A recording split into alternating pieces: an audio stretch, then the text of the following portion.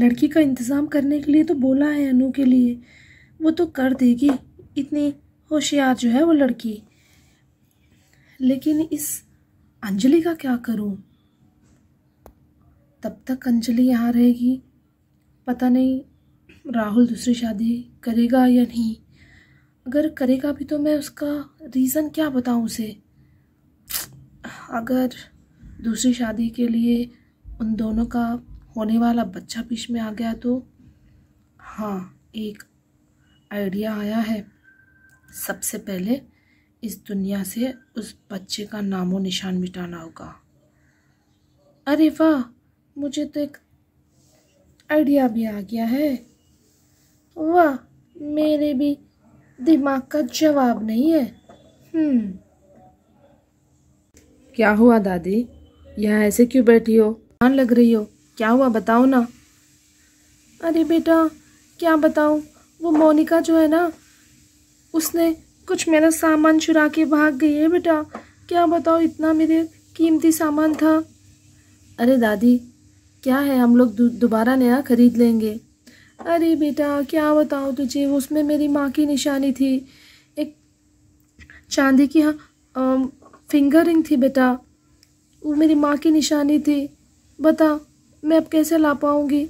मैंने पूरा घर छान मार लिया, नहीं मिला है बेटा। और पता नहीं उसका गाँव किधर है, मुझे भी नहीं पता।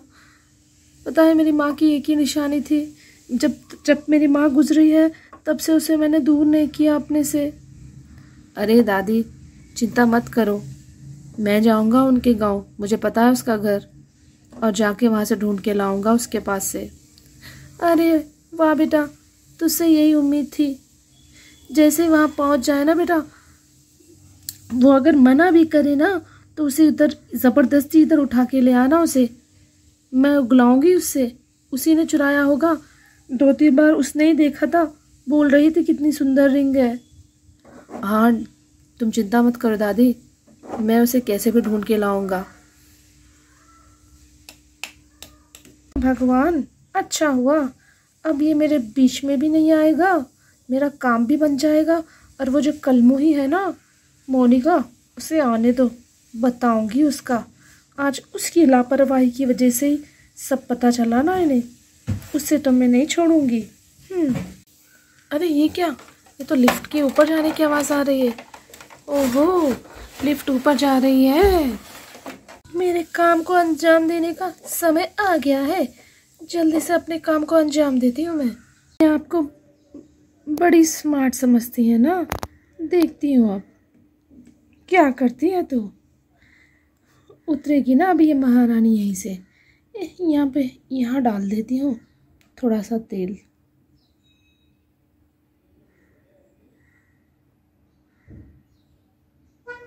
अब पता चलेगा, जब ये तेल में पैर रख के गिरेगी ना, जब देखती हूँ कैसी उसकी हालत ठीक रहती है? दो महीने का तो प्रेग्नेंट है। हम्म, अगर मेरा प्लान ठीक से काम कर गया तो? झट से उसका अबोशन हो जाएगा। हम्म, मेरे भी दिमाग का कोई जवाब नहीं है। के तमाशा देखूँगी अब मैं। हाँ उतर रही है लिफ्ट नीचे। अब आएगा मज़ा।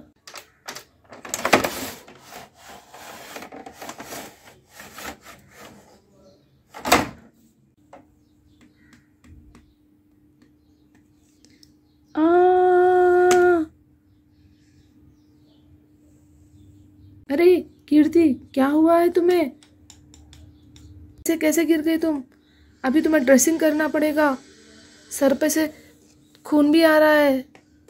देखिए सर, कीर्ति मैम का अच्छे से ध्यान रखा करिए।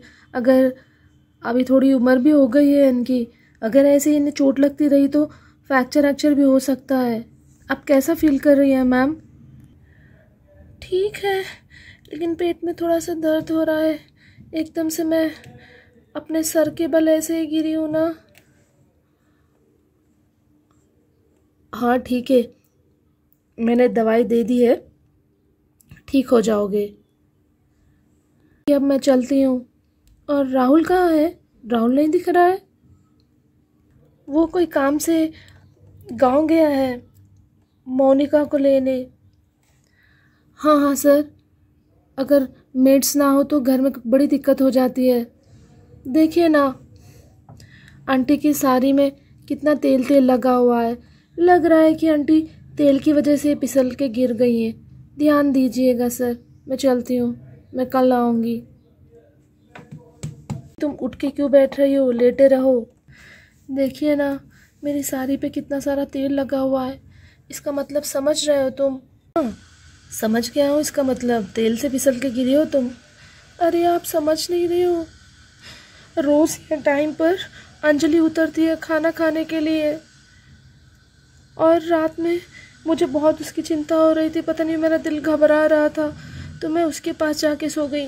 इसका मतलब समझ नहीं रहे हो। मैंने कहा ना, अम्मा जी के मन में कुछ ना कुछ प्लान चल रहा है। हाँ अब समझा। इसका मतलब अम्मा ने ही तेल डाला है ये। हाँ जी, आप क्यों नहीं समझ रहे हो? अगर मेरी जगह अंजलि होती तो आज उसके साथ क्या होता तुम ही सोच लो। हाँ हाँ तुम ठीक कह रही हो। पता नहीं, अंजलि को यहाँ से भेजना पड़ेगा, पर वो जाएगी नहीं।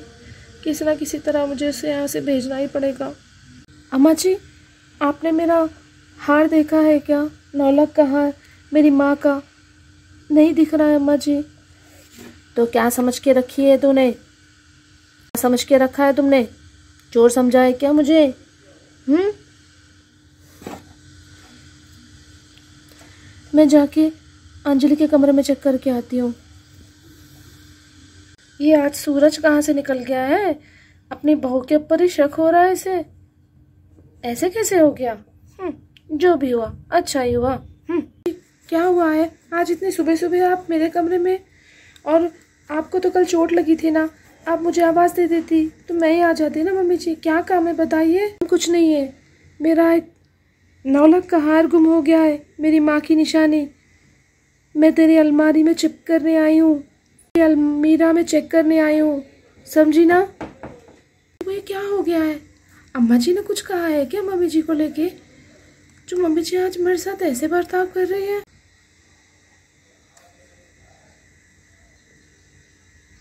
अपने सारे गहने तो लॉकर में रहते हैं ना? फिर भी मुझे चेक करना है।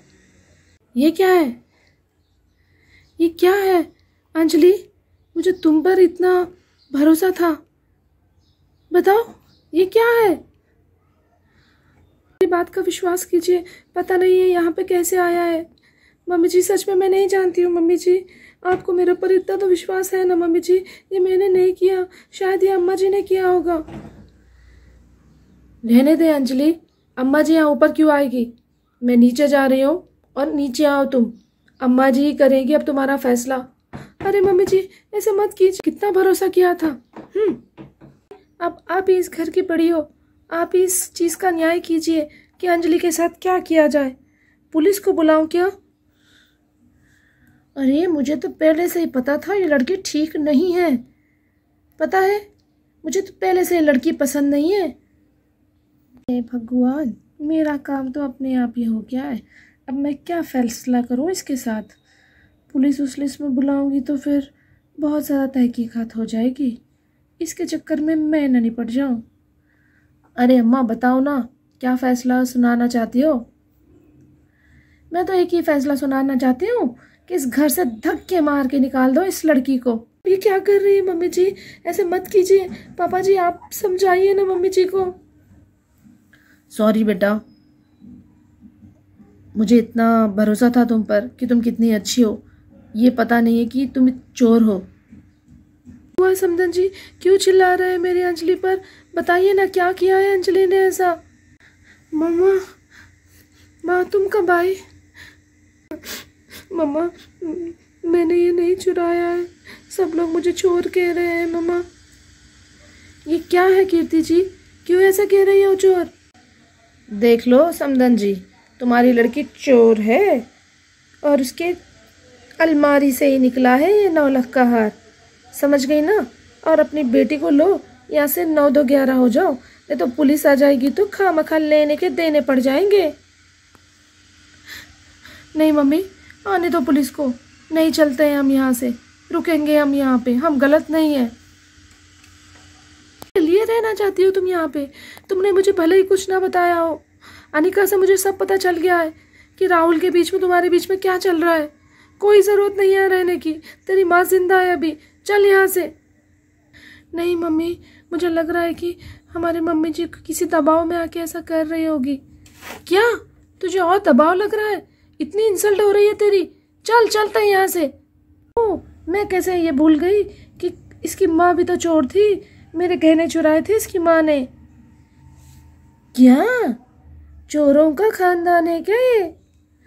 हाँ हाँ अम्मा जी, इसकी माँ ने चुराया था। अब ये ऐसे ही कैसे जाएगी? बड़ा हाथ मार के ही जाएगी ना? ऐसे कैसे निकलेगी यहाँ से? सुन लिया है? कि और कुछ सुनना बाकी है? चल यहाँ से। कोई नहीं है तेरा यहाँ पे।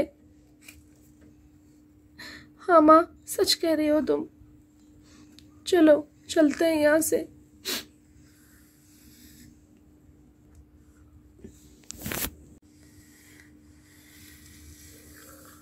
मेरा रास्ते का कांटा तो ऐसे ही निकल गया है। अब जल्द से जल्द राहुल की दूसरी शादी करके राज करूँगी इस घर में। हम्म। मुझे भगवान कभी नहीं माफ़ करेगा। मैंने इतना बुरा किया है अंजलि के साथ। देखो ना, उसने मुझे इतने साल हम दूर थे, तुम्हें वापस मुझे लौटा दिया, लेकिन मैंने क्या किया उसके साथ? मैं भी क्या करती? वैसे ही इस घर से जाने वाली तो नहीं थी। मुझे और तुम्हें छोड़ के नहीं जाती वो। राहुल उसे कितना भी बुरा भला कह लो लेकिन उसके साथ ऐसा करना ही ठीक था। मैं भी समदन जी को फ़ोन करके सब बता दिया मैंने पहले ही। उसे कुछ भी बताने से मना किया है और अच्छे से उसका ध्यान रखने का बोला है। हाँ कीर्ति तो तुम इतनी चिंता क्यों कर रही हो? जैसे सब कुछ ठीक हो जाता है हम फिर बुला लेंगे अंजलि को। ऐसे लगता है तुम्हें कि सब कुछ ठीक होगा? अम्मा जी, दूसरी शादी करवाने वाली है राहुल की। बुरा कितना भी बुरा हो जाए, भले के आगे वो नन्ना ही होता है, हमेशा जीत सच्चाई की होती है। तुम चिंता मत करो, तुमने सब बता दिया ना समधन जी को? हाँ मैंने अंजलि की मम्मी को सब कुछ बता दिया है। तभी तो वो इस टाइम पे करेक्ट आ गई थी उसे लेने के लिए। सोचिए ना, अगर मेरी जगह वो गिरती तो उसे भी और उसके बच्चों को भी नुकसान हो जाता ना। हाँ तुमने जो भी किया, अंजलि के भले के लिए किया, तुम चिंता मत करो। पता नहीं भगवान सब कुछ कब ठीक होगा।